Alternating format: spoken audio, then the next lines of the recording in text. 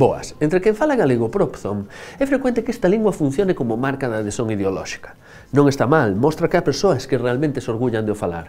Ora ben, pode ter algunhas desvantaxes de que debemos ser conscientes, basicamente para non ficarmos cativos delas. Hoxe vou vos explicar quais son en galego de todo o mundo. Cada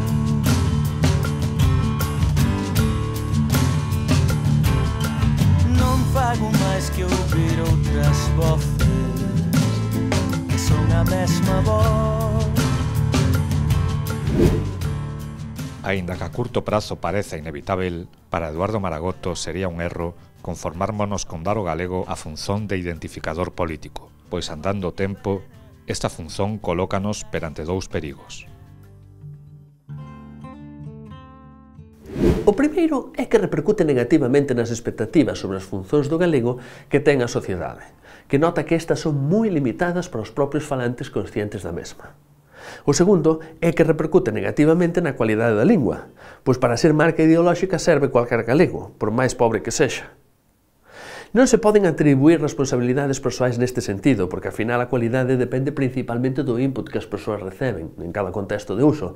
Mas é obvio que a medida que se fragiliza o galego transmitido de forma natural, creste un sector de galego falantes, principalmente no mundo político, aos quais parece bastar que a lingua os mostre como galeguistas ou progresistas e inconscientemente acaban por acomodarse a un neogalego en que van recuando as marcas máis características da nosa fala, as que nos unían ao portugués, e avanzan, como como querendo paliar isto, certos usos e preenxebres descoñecidos para a maioría de falantes co galego como lingua materna. Poñemos só cuatro exemplos de cada tendencia. Nesta primeira tabela, as formas tradicionais, irmão máis novo, vou falar, chamar o Pedro, a noite, son abandonadas no neogalego porque non poden ser traducidas palabra a palabra a partir do castellano, e porque conteñen outras diferenzas en relación ao español que se xulgan suficientes para marcar a distancia pequeno, vou, chamar, pola... Nesta segunda tabela vemos o contrario. Moitos termos usados no galego oral, acabar, mostrar, parecer, esperar, coinciden co portugués e o castellano, así que son habilitados outros termos que en cualquier caso permiten a traducción directa a partir do castellano, rematar, amosar, semellar, aguardar... Con este modelo de lingua, o galego perde legitimidade pois afástase da súa tradición oral, o que ven confirmar a sensación popular de un galego moderno soar artificioso ou ter sido largamente inventado. Por outro lado, o cuidado do potencial comunicativo deste galego perde importancia, xa que a lusofonía lle fica longe. Ainda que en principio non non o pareza, as persoas entenderían mellor que as innovacións lexicais asentasen no beneficio da converxencia co portugués en vez de no capricho diferencialista.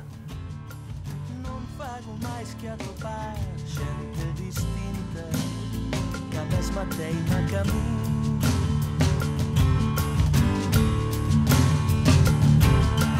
Não vago mais que ouvir outras bofas, que são a mesma voz.